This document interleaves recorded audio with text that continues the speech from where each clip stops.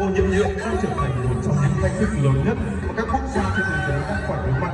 Mỗi năm, lượng rác thải nhựa do con người thải ra trên phạm vi toàn cầu đủ để phủ kín bốn lần diện tích bề mặt trái đất. Trong đó, 13 triệu tấn rác thải được đổ vào đại dương. Việc lạm dụng sử dụng sản phẩm nhựa, nhất là túi ni lông có tích sản phẩm nhựa dùng một lần cao và đang để lại hậu quả nghiêm trọng đối với môi trường. Rác thải nhựa dùng một lần tác động trực tiếp đến chất lượng cuộc sống, cùng loài sinh vật khác. Điều nguy của rác thải nhựa là tính chất khó phân hủy.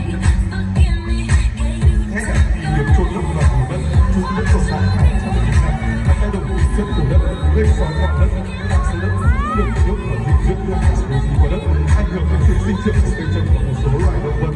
Các tổ chức môi trường quốc tế như nhiều quốc gia đã kêu gọi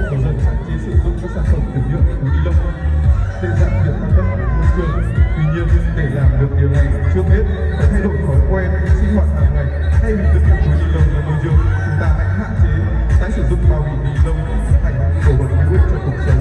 Để điều đó được thuyết phục hơn khi trang phục và chế mặt trại rừng em mang đến ngày hôm nay là sự kết hợp của vật liệu gần gũi với đời sống là ni lông và giấy. Sự kết hợp hài hòa đã tạo ra một sản phẩm